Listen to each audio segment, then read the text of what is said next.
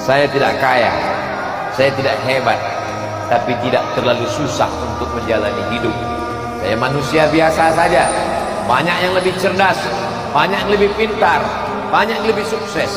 Tapi apa yang saya alami hari ini, saya yakin adalah doa dari ibu saya.